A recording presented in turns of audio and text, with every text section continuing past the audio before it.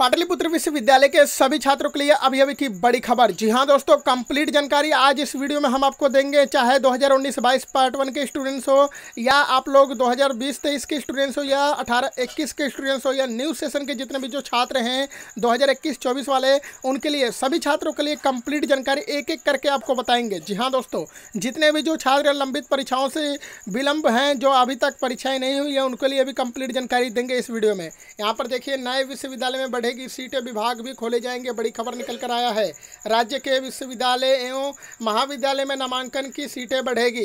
दोस्तों, आप लोगों को बता दूँ, आगे की अपडेट, आगे की इन्फॉर्मेशन बताने से पहले, यदि अगर आप टेलीग्राम ग्रुप से हमारे ज्वाइन नहीं हुए तो टेलीग्राम ग्रुप से ज्वाइन हो जाओ, पाटलिपुत्र विश्वविद्यालय से रिलेटेड पल पल के अपडेट सबसे पहले टेलीग्राम ग्रुप में डाल दिया जाता है। तो टेलीग्राम का लिंक जो है, आपको वीडियो के डिस्क्रिप्शन में मिल जाएगा। और हाँ चैनल को सब्सक्राइब नहीं किया तो चैनल को सब्सक्राइब कर लो। अभी फटाफट आपको नीचे लाल कलर का सब्सक्राइब का ऑप्शन दिख रहा होगा क्लिक कर दो और बगल में घंटे का ऑप्शन उसको भी दबा दो कि आने वाली पूरी अपडेट सबसे पहले आपको मिले। यहाँ पर देखिए, बताया जा रहा है कि विश्वविद्यालय में नए विभाग भी खोले जाएँगे और शिक्षक एवं शिक्षक कर्मचारी के सृजित पदों पर बहाली भी जल्द होगी। इसके लिए शिक्षा विभाग से लेकर राजभवन तक गंभीर है और विश्वविद्यालय से प्रस्ताव मांगे गए हैं। जी हाँ दोस्तों, पाटलिपुत्र विश्वविद्यालय और पुण्य विश्वविद्यालय में स्नातकोत्तर संख्याएँ को खोलने को लेकर प्रस्ताव शिक्षा विभाग ने सहमति दे दी है। यह बड़ी खबर है। यहाँ पर देखिए, बताया जा रहा है कि मुंगेर विश्वविद्यालय में 160 और पाटलिपुत्र विश्वविद्यालय में 126 पदों पर होगी नई नियुक्ति।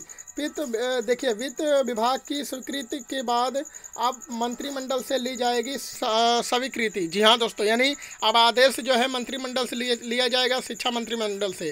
कॉलेजों और यूनिवर्सिटी में निर्धारित प्रविधान के तहत सीटें बढ़ाई जाती है। जहाँ ज़रूरत होगी, वहाँ सीटें बढ़ेगी। लेकिन इसके लिए तय फॉर्मेट में यूनिवर्सिटी और कला को प्रस्ताव देना होगा ज़रूरी, ठीक है? यहाँ पर बड़ी खबर निकल कर आया कि पाटलिपुत्र विश्वविद्यालय और पुणे विश्वविद्यालय मुंगेर विश्वविद्यालय भी स्नातकोत्तर की पढ़ाई शुरू करने की तैयारी हो रही है। यह बड़ी खबर है, ठीक है? अब चलिए जान लेते हैं थोड़ी सी और बढ़िया खबर। यहाँ पर देखिए दोस्तों, बताया जा रहा है, आप लोग देखिए यहाँ पर, पाटलिपुत्र विश्वविद्यालय के सभी छात्र ध्यान दीजिए, जितने भी छात्र। Graduation exam form fill up online, देखिए सेकेंड जुलाई, यानी जुलाई के सेकेंड वीक में एग्ज़ाम फॉर्म जो है फिल होगा। अठारह, इक्कीस पार्ट थर्ड वालों का, उन्नीस बाईस वालों का और बीस तेईस वालों का, ठीक है? यहाँ पर देखिए बताया जा रहा है, साथ ही साथ ये भी कि PG post graduation examination form fill होगा जुलाई, देखिए, यहाँ पर जुलाई के सेकेंड वीक में होगा ये भी, ठीक है?